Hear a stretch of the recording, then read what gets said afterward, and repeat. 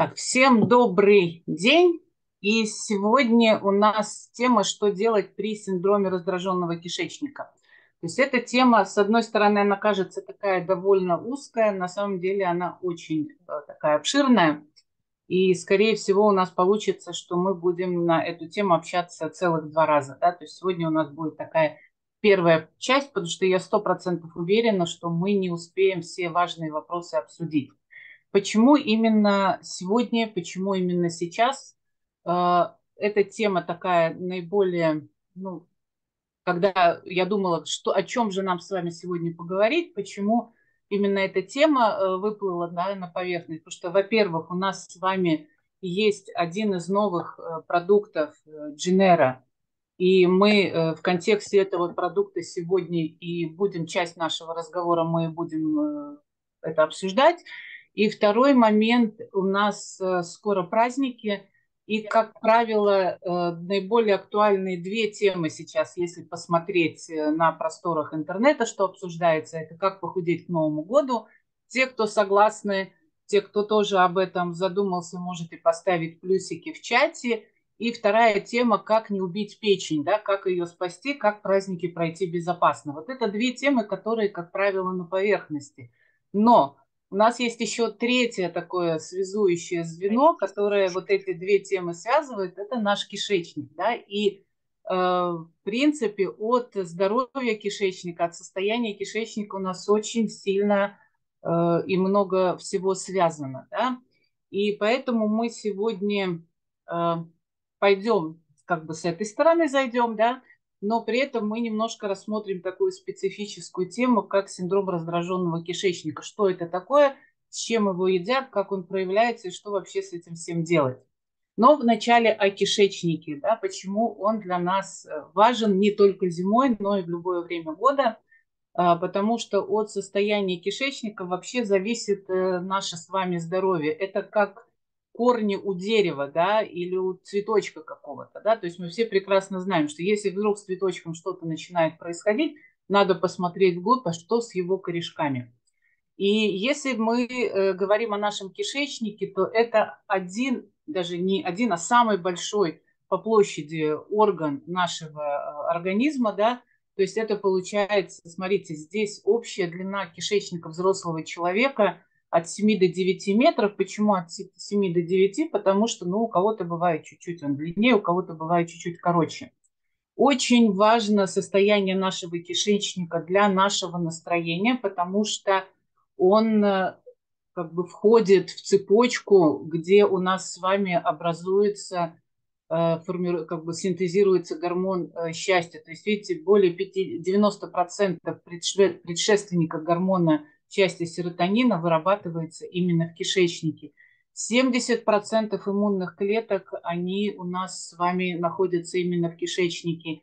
И именно в кишечнике у нас находится э, наш такой второй как бы мозг, как говорят, сейчас даже очень сильно обсуждают, а кто вообще главнее, первый этаж или, или именно э, микробиота кишечника – потому что она действительно влияет на очень э, многие процессы в нашем организме. И смотрите, она примерно 3% от э, всего веса нашего тела. Кому интересно, можете посчитать, сколько это получается. И э, есть, идем дальше. Да, что такое синдром раздраженного кишечника? Э, это понятие сейчас очень на слуху. Да, по статистике, если мы смотрим, то практически это касается и детей, и взрослых, и людей пожилого возраста. Э, в среднем эм, как бы получается, что каждый третий человек э, сталкивался э, с этим вопросом, и, и как бы большая часть вообще именно даже может не подозревать о том, что этот вопрос есть, да, потому что, опять же, по, по статистике всего несколько, несколько процентов из этих 30 они доходят до специалистов, да, остальные или не замечают, или как бы э, живут и считают, потому что у нас такое понятие нормы, да, оно очень для нас, людей, очень расплывчато. Иногда человек э, забывает, что значит быть здоровым. Как пример, вот, э, городской житель, который живет в загазованности все время вот, отсутствие чистого воздуха, выезжает на природу, и от чистого воздуха может даже заболеть голова.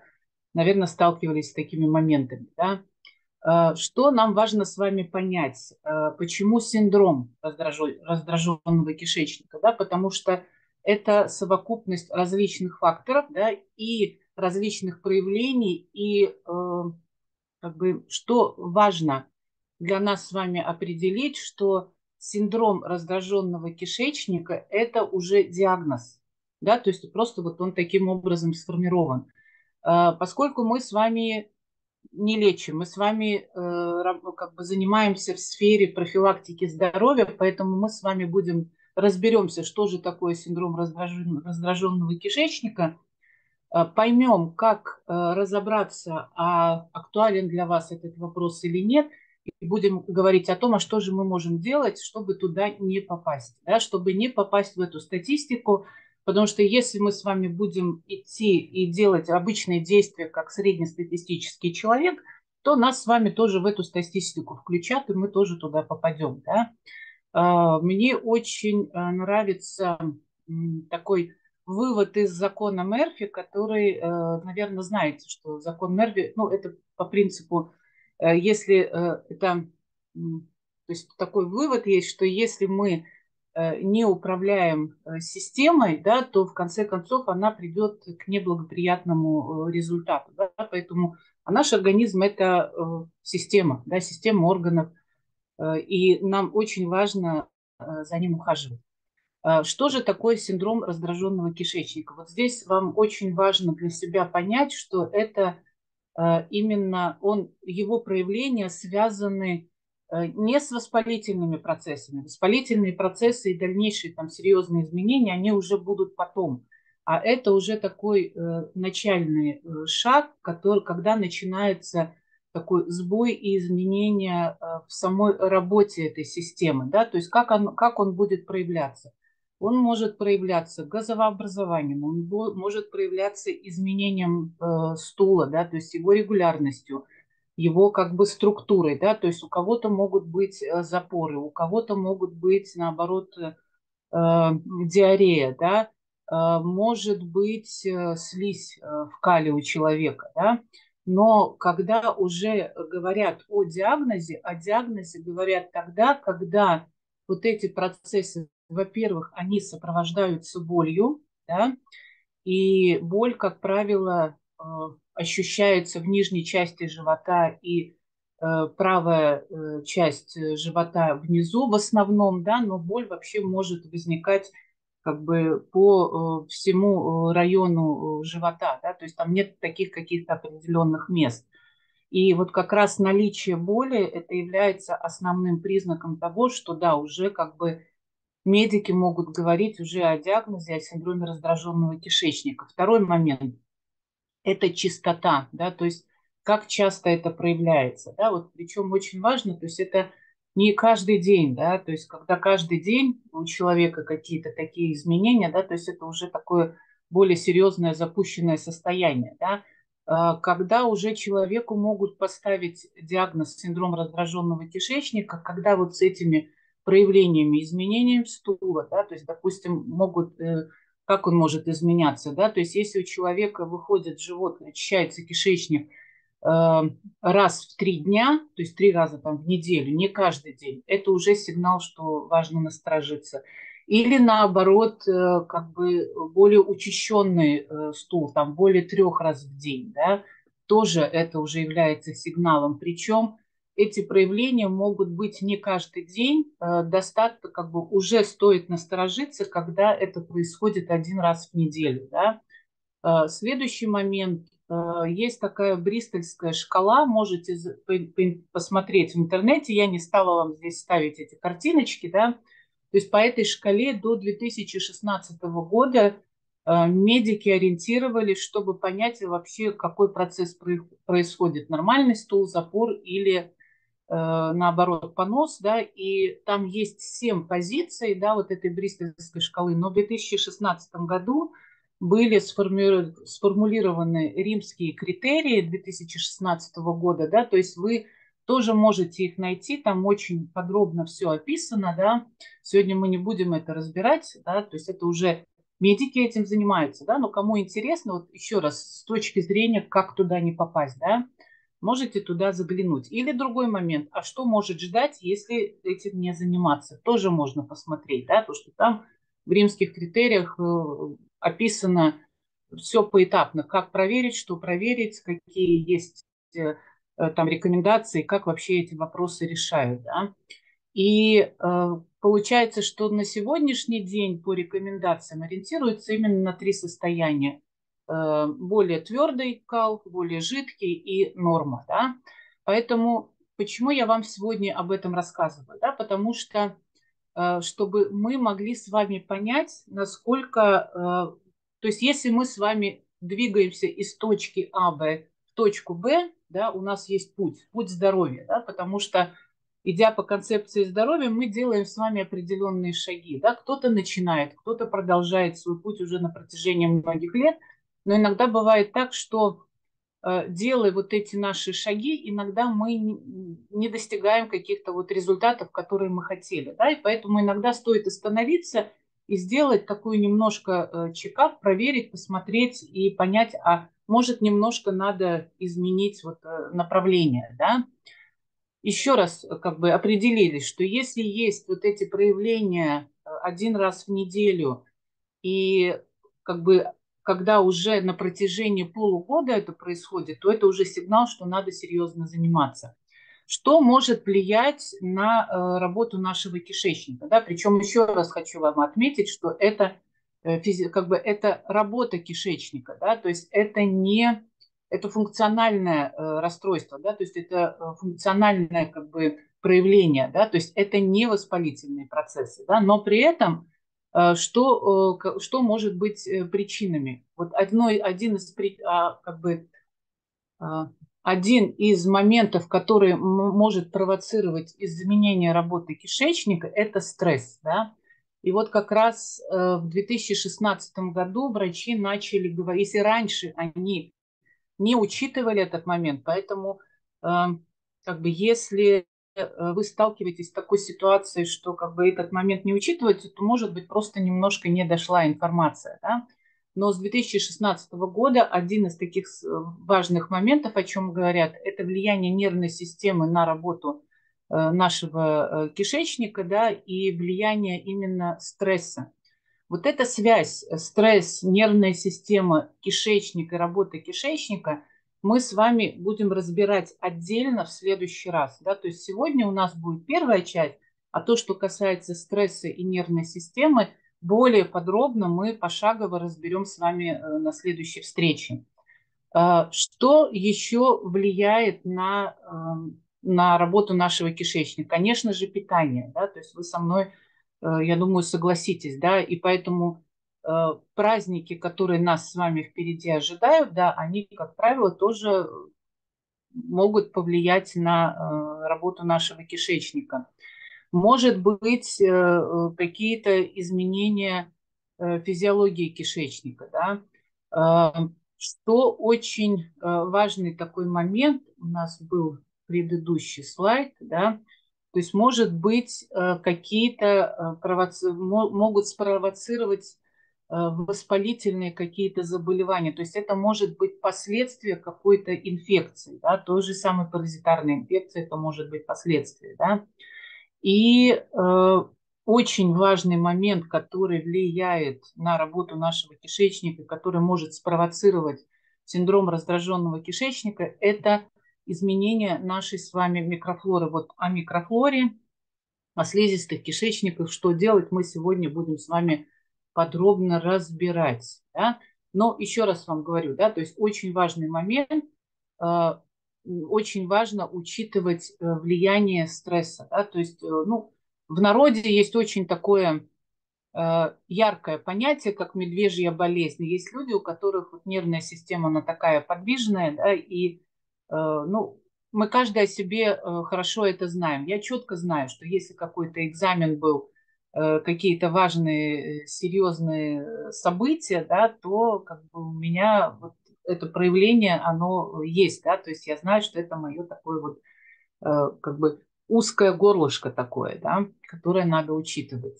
Э, идем дальше. Очень важный момент, с которым нам с вами надо разобраться, поэтому я вам рассказываю это в самом начале. Это так называемые красные флаги или сигналы тревоги, на которые важно обращать э, внимание. Почему? Потому что когда мы с вами начинаем э, заниматься своим здоровьем, когда мы с, нами, с вами начинаем использовать э, э, какие-то природные компоненты, да, то есть мы а, то есть мы можем в какой-то момент не обратить внимания, да, то есть может быть это по незнанию, поэтому давайте с вами разберемся, и если вот эти моменты, они э, присутствуют там или у вас, или там у ваших близких, то очень важно в этом случае обратиться к врачу, да, то есть э, первый момент – это потеря веса, да, то есть что нам э, с вами важно понять, да, вот если мы говорим о синдроме раздраженного кишечника – то несмотря на то, что нарушается, вот, изменяется функция как бы, работы кишечника, да, то есть э, воспалительные процессы, они уже э, идут, как правило, следом, да, и, как правило, таких вот резких изменений, как потеря веса без причины, то есть без того, что человек там придерживается, изменил свое питание, да, как бы э, оно не, не проявляется, да. Поэтому потеря веса, она служит сигналом для того, чтобы посмотреть глубже. Второй важный момент – ночные боли в животе. Почему здесь отдельно это вызвано, э, выделено? Потому что, когда мы говорим о синдроме раздраженного кишечника, да, там присутствует вот это понятие боли, но они, как правило, эти боли, они э, такие, как рези, они могут быть перед тем, как э, кишечник э, очищается, и потом они проходят да, потому что они больше связаны даже с тем, что идет как бы э, застой газов, да, то есть растяжение стеночек кишечника, там э, повышается чувствительность, э, э, то есть как бы более человек чувствительный становится, ткани становятся чувствительной, поэтому есть вот этот болевой синдром, но эти, эта боль не постоянна, то есть если есть боли постоянные в области живота, есть ночные боли, да, опять же, это очень важный момент, Э, и сигнал, что нужно э, смотреть и проверять дальше. Э, появление неприятных ощущений боли в пожилом возрасте. Ну, мы знаем, что с возрастом начинает как бы иммунная система меньше отслеживает, больше риски возникновения онкологических заболеваний, да, поэтому если вот эти изменения начались в пожилом возрасте, надо, желательно сходить, проверить, сдать анализы, то есть посмотреть глубже. Э, в случае аутоиммунных заболеваний, да, тоже и онкозаболеваний в семье, да, то есть как бы здесь идет речь о такой предрасположенности, да, поэтому тоже э, в этот момент надо быть настороже. Если поднимается температура, да, то есть тоже это сигнал, да, и еще очень важный момент, это мы даже с вами можем делать сами, да, то есть напомнить, если вдруг нам не назначили, но желательно если есть какие-то такие вот проявления, то желательно проверить э, наличие скрытой крови в кале, да, то есть это делается лабораторным анализом, да, то есть тогда это тоже момент, на который э, очень важно обратить внимание. То есть еще раз хочу вам э, такое акцентировать, что эти моменты надо проверить и исключить, да, потому что эти моменты, они уже требуют более серьезного такого специального подхода, да, и э, это важно отслеживать, да, то есть как и что будет меняться, да. Э, двигаемся дальше. Э, какие аспекты, что влияет, что формирует синдром раздраженного кишечника? То есть мы с вами можем на вот эту, на этот слайд посмотреть немножко с другой стороны, посмотреть, на что мы с вами можем повлиять, где вот есть вот это слабое место, где мы можем споткнуться, где мы можем подложить вот эту соломку. Что мы можем делать, о чем мы можем с вами позаботиться. Первое, о чем хочу с вами поговорить, генетическая предрасположенность. Кажется, что на это мы не можем с вами влиять, да? но на сегодняшний день наука уже доказала, есть определенное направление, эпигенетика, которое говорит о том, что на гены мы можем влиять через среду. Что это значит? Да, у нас может быть врожденно какое-то ослабленное место, какой-то ослабленный участок в нашем генетическом коде, но при этом в наших с вами силах сделать так, включится он или нет. Да? Гены, они э, закрыты такой, как защитной э, оболочкой, да, и именно среда влияет на то, что вот эти участки, которые начинают включать различные моменты, они могут как бы оголиться и начать э, влиять. Да? И э, это поняли и открыли ученые, которые занимались клонированием клеток. Да? Это очень хорошо описано в книге Брюса Липтона «Биология веры». Да? Можете почитать, посмотреть. Замечательная книга. И вот здесь как раз мы с вами находим ответ, а как мы, идя по концепции здоровья, может, поворачиваем даже вспять очень серьезные моменты. Да? То есть мы с вами через концепцию здоровья мы меняем э, среду в нашем организме, мы ее восстанавливаем, очищаем, восстанавливаем равновесие, и таким образом мы э, как бы убираем вот эти риски, которые могут э, спровоцировать генетическую предрасположенность. Висцеральная гиперчувствительность. Об этом мы с вами будем говорить в следующий раз да, когда мы будем говорить о нервной системе, о связи мозга и кишечника, да, здесь как раз у нас будет с вами разговор о серотонине, потому что когда у нас с вами снижается уровень серотонина, у нас с вами повышается чувствительность. И таким образом человек даже, когда его вот есть люди, которых можно схватить за руку, и ему будет больно, да, то есть просто от прикосновения, то есть как бы ткани, они более чувствительны. Да? То есть вот это очень связано с серотонином. И именно поэтому один из э, таких методов э, уже лечения синдрома раздраженного кишечника, когда у человека боли, если вы почитаете вот, эту, вот эти римские критерии и рекомендации, как решать, то вы увидите, что практически уже э, на первых этапах да, в, в протоколы лечения добавлены антидепрессанты, потому что они как раз влияют на э, серотонин, да, то есть на вот эти серотониновые рецепторы. То есть мы с вами будем в следующий раз говорить, а как мы можем сделать так, чтобы природными средствами мы могли вот этими моментами немножко управлять, да, то есть как опять не допустить, да. Следующее, нарушение моторики желудочно-кишечного тракта. Вот здесь у нас тоже э, такой, сегодня немножко вам скажу, что э, это у нас с вами э, больше связь опять с нервной системой, да, потому что от чего у нас зависит моторика работы кишечника. Да? У нас у кишечника есть такая волна перистальтики. Да? Но нам важно помнить, что кишечник, стенки кишечника – это мускулы. И мускулы, они работают за счет наличия э, минералов. И поэтому очень важный момент, тоже одной из рекомендаций профилактики того, чтобы не спровоцировать вот это э, как бы расстройство в организме, да, изменения, это очень важный момент, это баланс электролитов в организме, это э, правильное как бы усвоение организмом кальция и магния – и здесь как раз еще будет связь с D-витамином. Да? Вот это мы будем разбирать с вами подробно в следующий раз. Да? А о чем мы будем с вами сегодня говорить? Мы будем говорить с вами о микробиоте и факторах питания, как оно влияет. Да? И мы будем с вами говорить, а можем ли мы вообще повлиять на воспалительные процессы, есть ли у нас какие-то природные защитные механизмы, чтобы себя защитить от, воспал... от воспаления, да, то есть как мы можем на это повлиять, да. Поэтому вот видите, здесь у нас как бы разделилось на две такие э, части, да. И самое первое, если мы говорим с вами о э, кишечнике, забыла вас спросить, да, то есть, скорее всего, если бы мы, я вас спросила о здоровье кишечника, да, то есть э, э, даже сейчас можете написать, а какие э, ну, идеи, как бы пути решения у вас сразу всплывает в голове. В голове.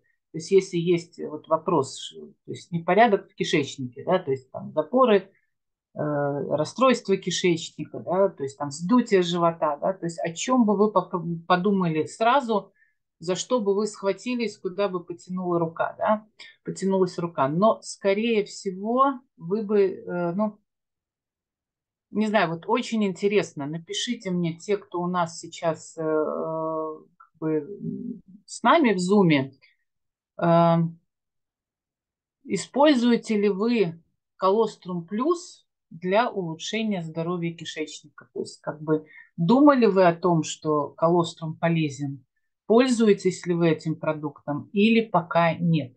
Немножко подожду, попью водичку. Те, у кого водички нет, сходите за водичкой да, и напишите мне, пожалуйста.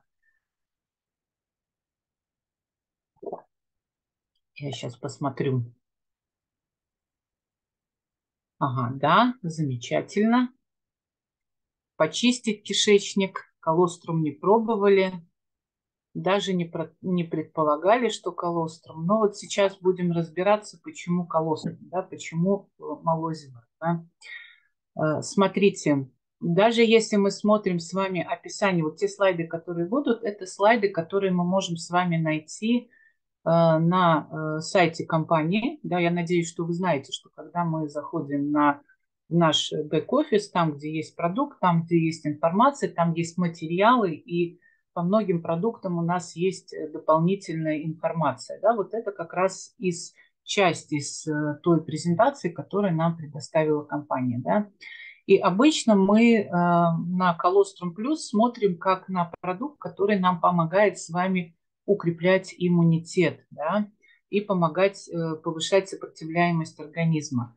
Но здесь для нас, если мы смотрим с точки зрения здоровья кишечника, для нас важна еще два момента, на которые действует колострум плюс, вот, которые направлены его действие, это ускорение процессов регенерации, восстановления. Вот этот момент вы можете использовать в любых ситуациях, когда надо помочь организму восстановиться, будь то это какая-то травма, перелом. То есть если вы добавите э, в свой вот этот набор нутрициологический вот, поддержки э, организма в какие-то ситуации – колострум, то вы таким образом эти процессы вы усилите и убыстрите, да, то есть вы поможете быстрее организму восстановиться.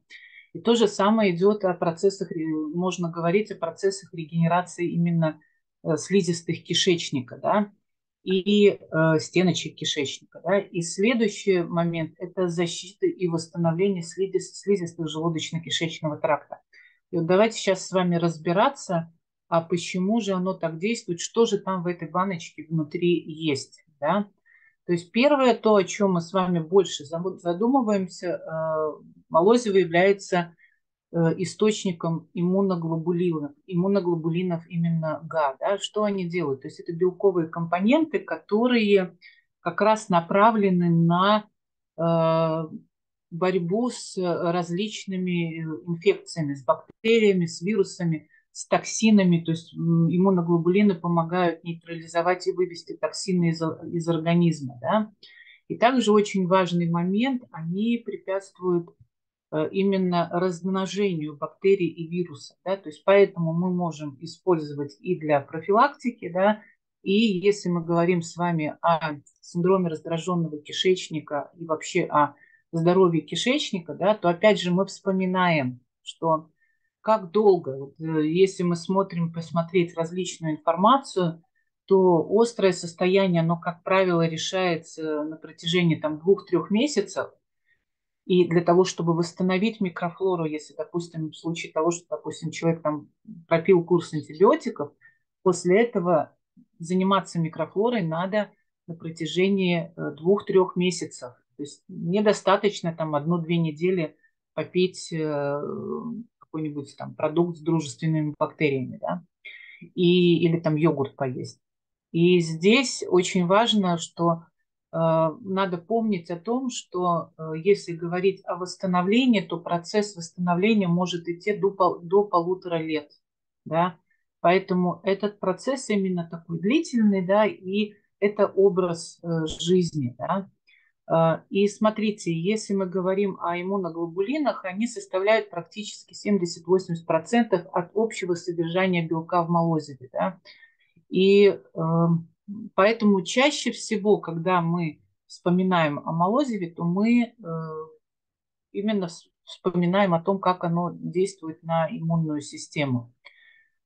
Следующее, очень важный момент, вот, который у нас с вами напрямую влияет на здоровье нашего кишечника, это противомикробные факторы. Да? То есть это факторы, это различные вещества, которые влияют на, на как бы помогают нам подавлять развитие Э, именно патогенной бактериальной микрофлоры. Что значит патогенная? Да? То есть у нас с вами, если мы заглянем вовнутрь кишечника, да, то есть что такое микробиом?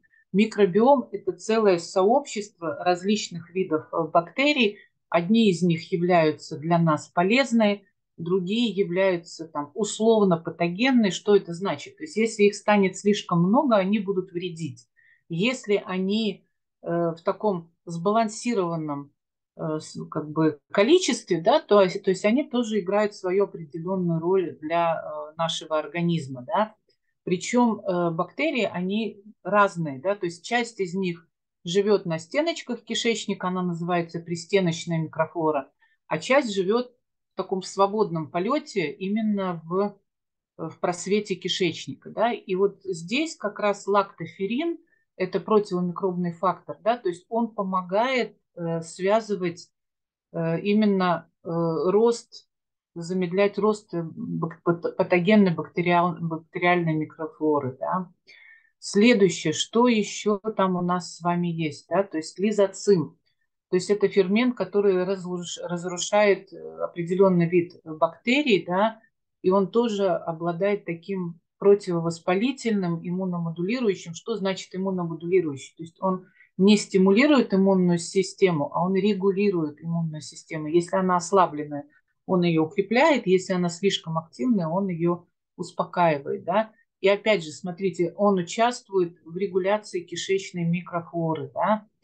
Э, следующее, э, есть э, лактоперидаза, это фермент, да, который снижает активность различных видов патогенов, бактерий и грибков. Да? То есть мы помним, что у нас в состав нашей кишечной микрофлоры входят не только бактерии, там ходят грибки, там ходит та, э, очень такая на слуху, очень знаменитая прямо звезда э, из бактерий, это кандида, да, то есть она может, она с одной стороны нужна для нашего организма, да, то есть она там выполняет определенную функцию, да, причем такую очень интересную, она стоит на защите, да, то есть она помогает переварить углеводистую пищу, углеводосодержащую пищу, да, и при этом она смотрит, э, если у нас там по каким-то причинам у нас в тонком кишечнике есть ворсиночки, на которых э, находится пристеночная микрофлора, если в какой-то момент этой пристеночной микрофлоры становится меньше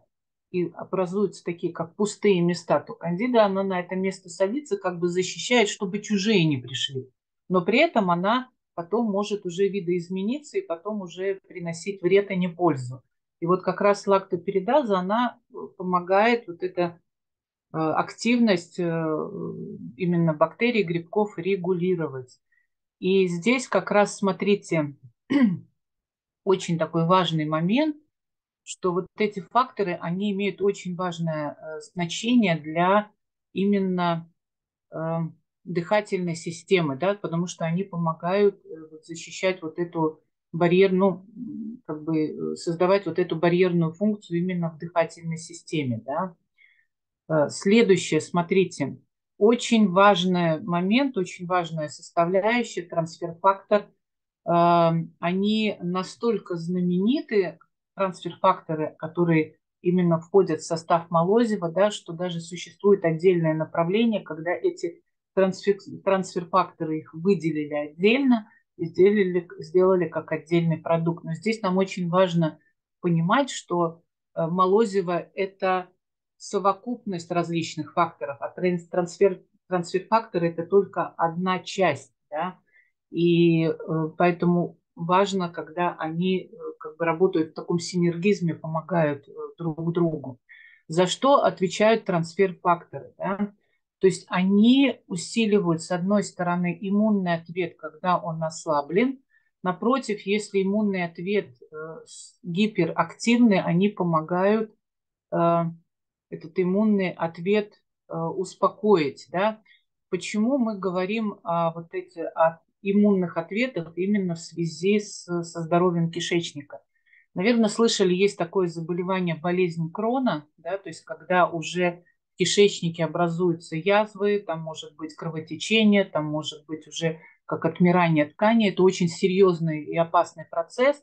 И один из факторов, который его провоцирует, это именно иммунная система, которая прямо начинает бороться против э, самого организма, да, то есть своя иммунная система борется против как бы хозяина, да, и вот как раз трансфер-факторы, они помогают вот эту ситуацию успокоить, подружить, да. И смотрите, еще очень важный момент, трансфер-факторы, они отвечают за то, что формируется память иммунитета, да, то есть которая впоследствии помогает уже быстрее организму реагировать, да, потому что у нас есть с вами врожденный иммунитет, есть, который нам как бы при рождении дан, да, и есть иммунитет, который приобретенный, то есть который мы нарабатываем в течение жизни. Но если организму не хватает вот этих исходных материалов, да, то как бы и вот этот, э, эта память иммунной системы, она может как бы э, хуже формироваться. Да, и Почему именно молозиво? Молозиво – это тот продукт, который помогает вот этому новорожденному, да, будь то это там теленочек, э, человек, то есть любому живому вещи, как бы организму, да, то есть он, э, он помогает именно выжить вот в эти начальные моменты, помогает сформировать вот эту защитные механизмы, да, то есть и мы можем с вами Э, свою иммунную систему как бы обучить заново. Это особенно важно для тех, э, кто э, из того поколения, кого, допустим, там не кормили грудью и кто не получил молозиво. Да? Вот я еще к этому поколению отношусь, да, то есть как бы нас уносили приносили только как бы через какое-то время к маме, да. То есть смотрите, вот очень важно, что делают трансфер-факторы, они помогают формировать правильный иммунный ответ – и это очень связано именно и с, со здоровьем кишечника. Да? Бета-глюканы – вот это очень э, важная составляющая молозива, которая, с одной стороны, питает нашу микрофлору, да, а с другой стороны, она тоже помогает регулировать работу иммунной системы. И один из важных таких моментов, то, что делают бета-глюканы, они укрепляют э, как бы иммун, иммунную систему, именно как бы иммунный ответ именно слизистых, слизистых кишечников. Да?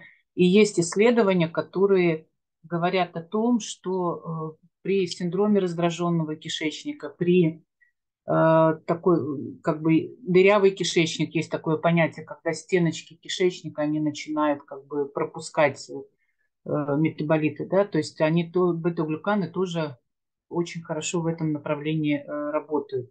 То есть, смотрите, даже вот если эти моменты мы с вами разобрали, да, то это уже мы с вами понимаем, что это очень э, важный такой хороший инструмент, который помогает нам с вами защитить наши э, слизистые кишечника.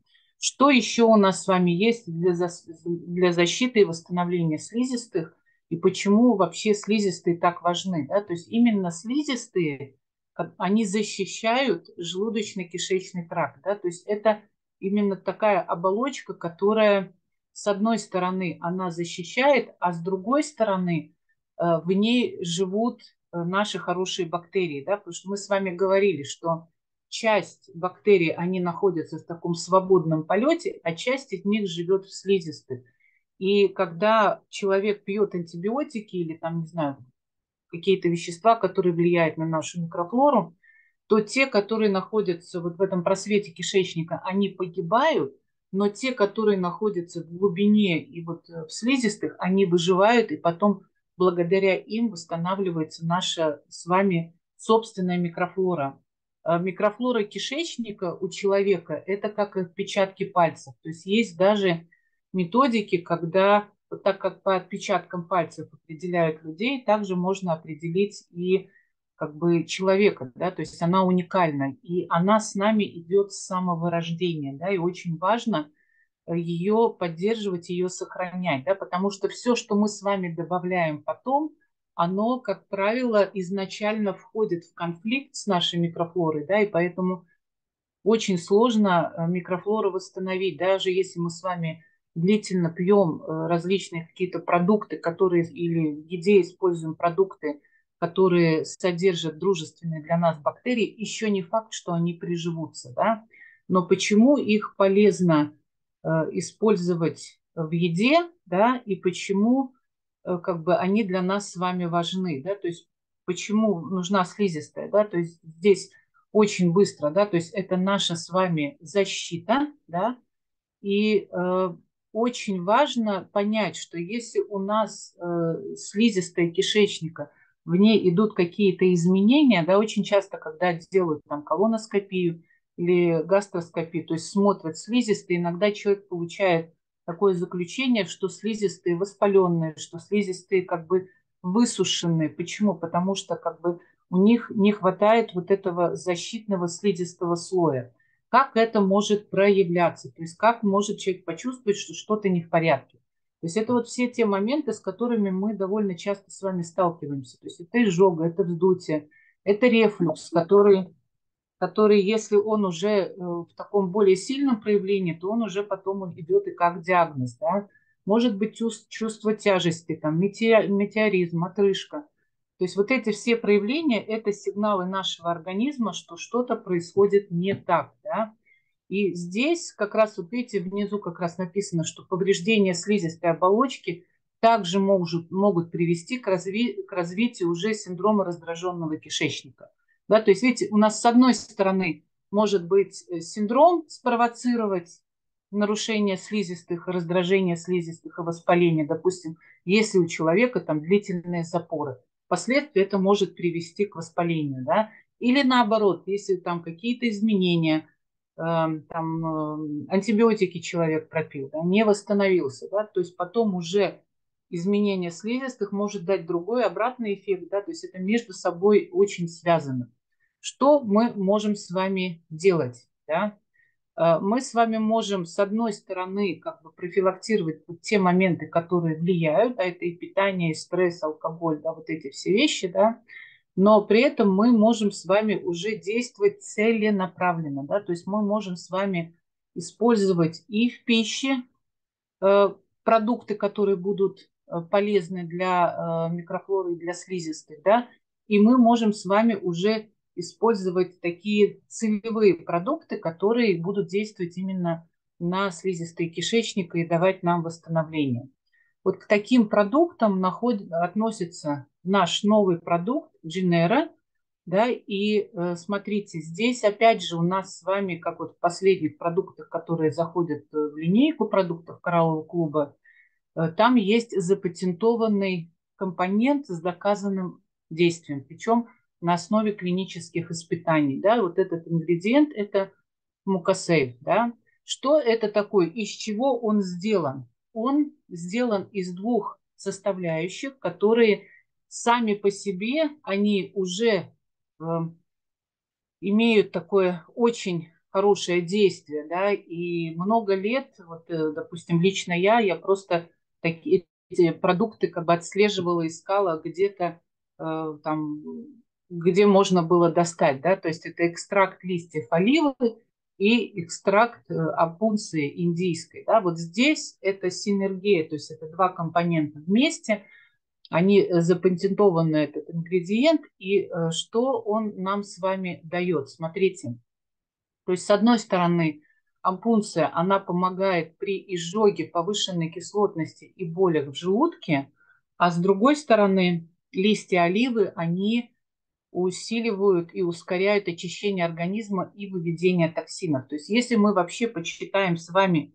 какое есть действие у листьев оливы экстракта оливы, да, то у нее есть выраженное противогрибковое действие. Она очень хорошо работает на, э, помогает как бы справиться с вопросом кандидоза, да, и у нее есть и такое как противопаразитарное действие. Ну, как бы грибки тоже, э, то есть мы их тоже относим э, к паразитарной инфекции, да, то есть есть э, разные виды грибков.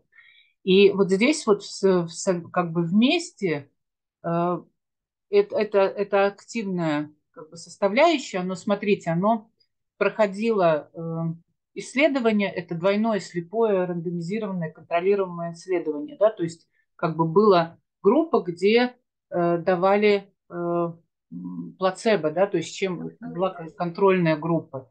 И здесь вот есть много э, показателей, на что э, действует, да, то есть можете более подробно, подробно кому интересно, да, зайдите себе в бэк-офис, откройте презентацию, посмотрите полностью эту презентацию, да. И э, что еще у нас с вами есть в составе Дженеры? У нас есть L-глутамин, который это аминокислота, которая именно помогает снять воспаление слизистой и повысить ее защитную функцию. И плюс у нас с вами есть э, в составе экстракт корня солодки. Да? И что он делает, если мы смотрим с вами именно на э, здоровье кишечника, да? слизистой кишечника, вот он как раз помогает восстанавливать вот этот э, слизистый слой, да, то есть он защищает слизистую кишечника, да, облегчает, как бы увлажняет и смягчает. Но если мы с вами посмотрим на Дженеру и посмотрим на состав, то у меня такой вопрос. Как вы думаете, для чего еще будет полезна Дженера, кроме как э, кишечник? В каких случаях мы еще можем ее, ее использовать? Какие идеи? То есть если смотрим на состав, немножко дух переведу. Для легких. И легкие. Ага, смотрите, дыхательная система и лимфа. То есть абсолютно правильно. Э, почему лимфа? Потому что она э, вообще качество лимфы, частота лимфы, она очень связана с кишечником, она очень связана с грибковыми инфекциями, особенно с кандидозом. Да?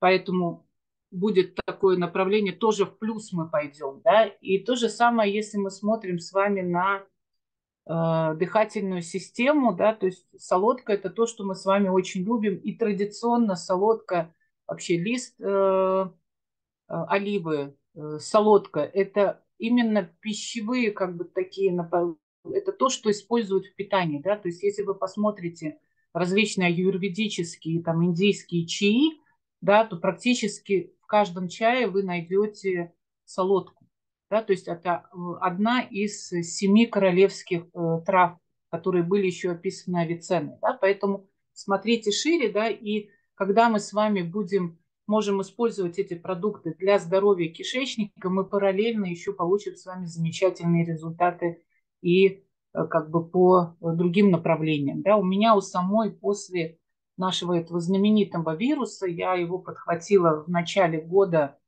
довольно тяжело перенесла в декабре, январь, как бы декабрь-январь, как раз на Новый год получилось. И до того момента, когда э, Джинера появилась, да, у меня на шее было несколько увеличенных лимфатических узлов, которые я никак не могла привести в порядок, несмотря на то, что вот был весь вот этот наш арсенал. Да. Когда добавила Джинеру, они постепенно, эти, лимфатические узелочки пришли в норму. Да, поэтому э, очень важный, очень замечательный продукт, да, и Э, вот лично у меня он занял такое достойное место в моей э, такой натуральном наборе природном э, здоровья, который у меня есть дома на постоянной основе. Так, пять минут у нас еще есть. О чем еще мы немножко с вами можем поговорить. Да? Что еще важно? Важно для здоровья микрофлоры, вообще для здоровья кишечника и слизистых очень важная составляющая – это наша микрофлора.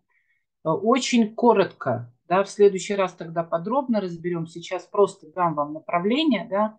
Э, мы с вами более знакомы с пробиотиками, пребиотиками, симбиотиками, да, то есть это еда для бактерий, это источники как бы сами живые бактерии, да, и это можно сравнить с тем, что если кто-то из вас занимается там э, садоводством, огородством, да, и выращивать там огурчики и помидорчики, то это можно сравнить с тем, что мы берем с вами семечко, мы сажаем, э, создаем условия, подкармливая это, это растение, Но для чего мы все это делаем? Мы делаем это для того, чтобы получить плоды, там огурчики, помидорчики, яблочки, да. То есть нас интересуют именно плоды, да. И вот если мы говорим о э, дружественных бактериях, да, о нашей микрофлоре, то нас тоже, когда мы с вами восстанавливаем нашу микрофлору и используем такие продукты, как суперфлора, например, да, то мы с вами Э, или там бикурунга, да, то есть мы с вами ожидаем, для чего мы это делаем, чтобы дождаться,